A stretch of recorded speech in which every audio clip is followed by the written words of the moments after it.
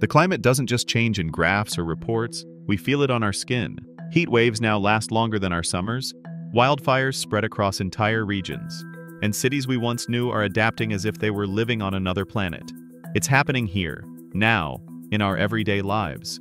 The truth is, the planet itself is not in danger. What's at stake is how we're going to live, where we'll be able to build our cities or grow our crops.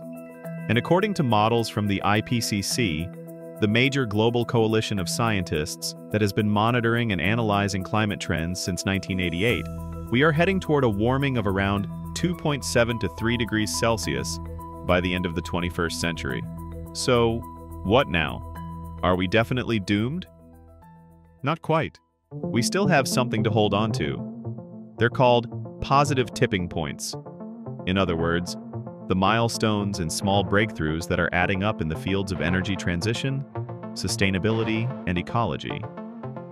For example, just 10 years ago, many believed that renewables could never compete with fossil fuels. Today, solar energy is 10 times cheaper, and the cost of batteries, essential for storing that energy, has fallen by 86% over the past decade. A greater rollout could deliver a 27% reduction in emissions by 2030 and 38% by 2035. Moreover, coal use is fading away.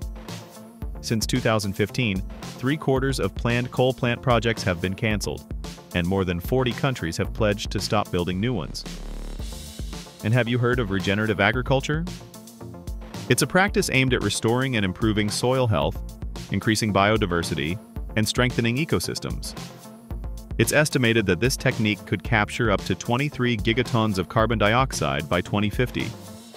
Meanwhile, the circular economy is transforming the way we produce and consume, extending the lifespan of products and reducing pressure on natural resources. And all these advances are changing lives. In 2023, Europe reached a circularity rate of 11.8%, one of the highest in the world. In Australia, the MacIntyre Wind Farm project, one of the largest on the planet, will prevent up to 2.5 million tons of CO2 emissions per year, equivalent to taking 700,000 cars off the road. In the United States, installed solar capacity has increased 15-fold over the past decade, reaching 159.3 gigawatts in 2024, and potentially rising to 364.1 gigawatts by 2029, enough to power around 3 million homes.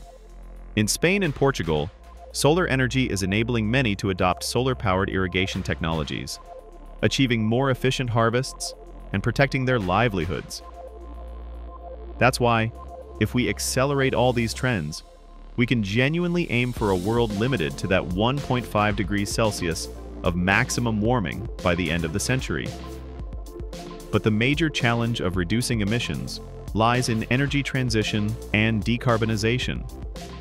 With funding for climate solutions, ecosystem protection, technological innovation, and global political action grounded in social justice. All while promoting awareness and adaptation to climate change so that we can leave the best possible planet to future generations.